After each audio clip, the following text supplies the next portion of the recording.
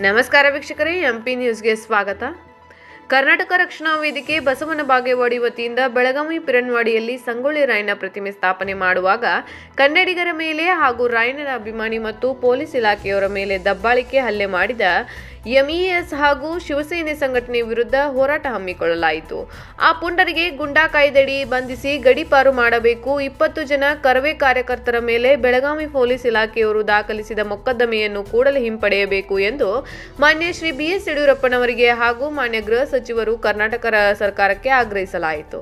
ನಮ್ಮ ಈ ಹೋರಾಟಕ್ಕೆ ನ್ಯಾಯ ಸಿಗದೇ ಇದ್ದರೆ ಮುಂದಿನ ದಿನಮಾನಗಳಲ್ಲಿ ಕರ್ನಾಟಕ ರಕ್ಷಣಾ ವೇದಿಕೆ ಹಾಗೂ ಸಮಸ್ತ ರಾಯಣ್ಣ ಅಭಿಮಾನಿ ಬಳಗದ ವತಿಯಿಂದ ಸರ್ಕಾರದ ವಿರುದ್ಧ ಉಗ್ರ ಹೋರಾಟ ಮಾಡಬೇಕು ಆಗುತ್ತದೆ ಎಂದು ಆಗ್ರಹಿಸಿದರು. ಈ ಸಂದರ್ಭದಲ್ಲಿ ಸುನೀಲ್ ಎಸ್ ರಾಥೋಡ್ ರಕ್ಷಣಾ ವೇದಿಕೆ ಉಪಾಧ್ಯಕ್ಷರು ಹಾಗೂ ಸಂಘದ ಎಲ್ಲ ಪದಾಧಿಕಾರಿಗಳು ಉಪಸ್ಥಿತರಿದ್ದರು.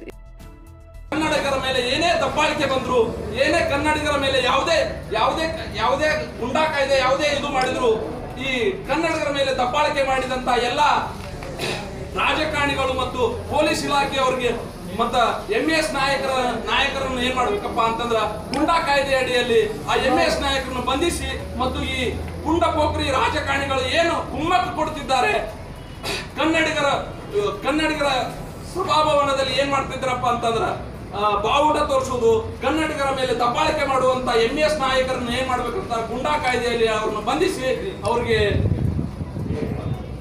ಗಡಿಪಾರು ಮಾಡ್ಬೇಕಂತೇಳಿ ಈ ವೇದಿಕೆ ಮುಖಾಂತರ ನಾನು ಒಂದು ಎಚ್ಚರಿಕೆ ಗಂಟೆಯನ್ನು ನೀಡ್ತೀನಿ. ನನಗೆ ಈ ಮಾತನಾಡಲು ಅವಕಾಶ ಇಷ್ಟೊತ್ತು ಸುದ್ದಿ ಕೊಟ್ಟಿದ್ದು ನಾನು ಈಶ್ವರ. ನಿರಂತರ ಸುದ್ದಿಗಾಗಿ. ವೀಕ್ಷಿಸಿ ಎಂಪಿ ನ್ಯೂಸ್ ಕನ್ನಡ.